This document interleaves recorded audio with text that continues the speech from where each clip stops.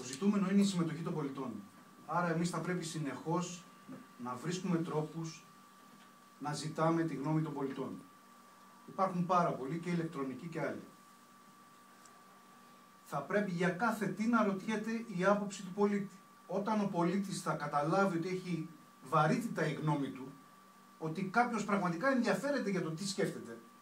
Γιατί να σας πω κάτι, καθένας από εμάς ξέρει καλύτερα από οποιονδήποτε άλλον τι χρειάζεται η γειτονιά τους; Πού έχει περισσότερη ανάγκη; Αν κάποια κονδύλια είναι προτιμότερο να δαπανηθούν για να βελτιωθεί η καθημερινότητά του, για να μην τα δίνει σε συνεργεία αυτοκινήτων και δεν ξέρω σε τι άλλα. Έτσι. Άρα ο τρόπος υπάρχει. Ήδη έχουμε δείξει μια πρώτη με ένα ηλεκτρονικό ερωτηματολόγιο. Θα, θα ακολουθήσουν πάρα πολλά τέτοια.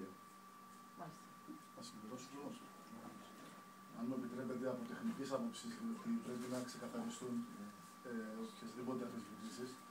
Ε, Χωρίς βέβαια να ανοίξω όλα τα χαρτιά, έχουμε συνεργάτες που δουλεύουν πολύ πάνω στη δημιουργία μιας πλατφόρμας ε, η οποία είναι ψηφιακή.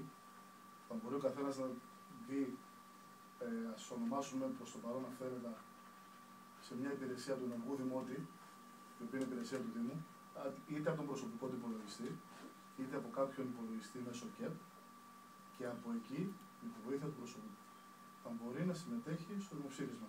Το δημοψήφισμα είναι μια πολύ εύκολη διαδικασία, είναι ένα ναι ή ένα όχι σε ένα συγκεκριμένο ερώτημα. Βέβαια, μπορεί ένα δημοψήφισμα να περιέχει παραπάνω του ενός ερωτήματα. Το θέμα είναι ότι όλη η ιστορία είναι αυτή η πλατφόρμα που δημιουργείται, η οποία θα έχει τη μοναδικότητα, δηλαδή ο καθένας πολίτης δημότης θα συμμετέχει έχοντας μία ψήφο μαζί με το όνομά του και το άμκα του αριθμού τη ταυτότητα. Θα εμπεριέχονται σε μία βάση δεδομένων και από εκεί θα εξάγονται επίσημα τα αποτελέσματα. Το πρόβλημα το μεγάλο είναι ότι αυτή η πλατφόρμα πρέπει να είναι απειρόβλητη. Δηλαδή, να μην μπορεί κανένας που γνωρίζει ας πούμε...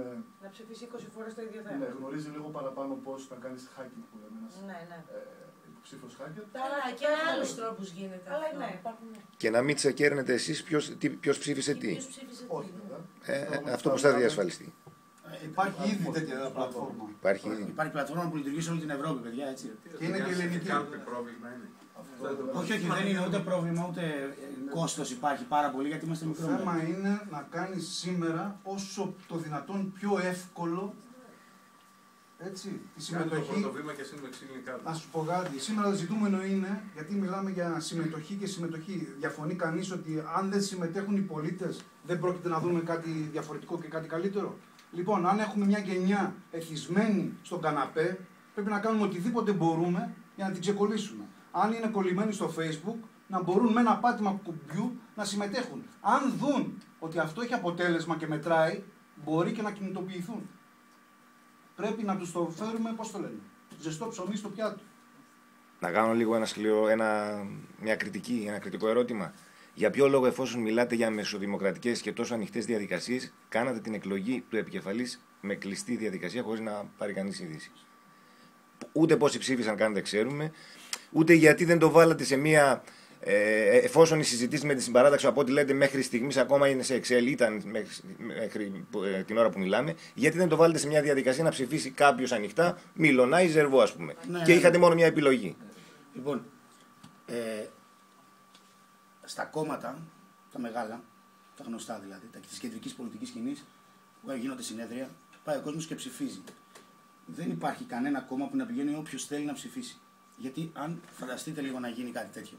Δηλαδή θα έρθει όποιος θέλει να ψηφίσει, θα έρθει κόσμο όλοι να ψηφίσει. Να ορίζετε μια ανοιχτή διαδικασία με αυτούς τους όρους. Ότι τα μέλη της συμπαράταξης, τα μέλη της δίεσης αυτό... που θα έρθουν να γραφτούν, ξέρω εγώ, μέχρι τις 15. Ένα λεπτό, ένα λεπτό. Αυτό το πράγμα έγινε. Πώς έγινε, πότε; Μισό λεπτό. Ε, όταν διευρύνεις τον κύκλο σου και αποκτάς ένα, ένα πιο μεγάλο κύκλο και έχεις φτάσει, ας πούμε, παράδειγμα στα 100 μέλη, έστω όχι 100 υποψηφίους, δεν εννοώ αυτό, εννοώ 100 ναι. υποστηρικτές. Εγγεγραμμένους. Μπορεί να μην είναι μέλη, να είναι φίλοι. Δεν χρειάζεται να είναι γεγραμμένος ο άλλος. Έτσι είναι δικό του θέμα. Ε, εκεί λοιπόν κάνεις μια συγκέντρωση, τους φωνάζεις, τους καλείς. Δεν μπορεί να είναι ανοιχτή μια τέτοια συγκέντρωση. Συγγνώμη που το λέω, αλλά σε μια τέτοια συγκέντρωση. Δηλαδή, γιατί φοβηθήκατε μια τέτοια κοινή ανοιχτή διαδικασία με τη συμπαράταξη. Μισό λεπτό. Για είναι να άλλο, το ένα, άλλο το ένα θέμα, είναι άλλο το άλλο. Γι' αυτό να τα ξεκαθαρίσουμε. Εμείς είμαστε μια κίνηση. Η κίνηση ξεκίνησε και πήγε πριν δημιουργηθεί, θα το πω χιλιάδες φορές, πριν δημιουργηθεί, ξαναλέω, να συνομιλεί με τη συμπαράταξη. Ωραία. Ωραία. Η συμπαράταξη μας είπε είσαστε μη θεσμικοί. Ωραία. Πόσο μπορεί να είναι ένας πρώην, υποψη... πρώην συγγνώμη, δημοτικός σύμβουλος, έτσι, και ένας γραμματέας κόμματος τοπικής οργάνωσης. Μη θεσμικοί δεν ξέρω, αλλά εν πάση περιπτώσει είμαστε μη θεσμικοί.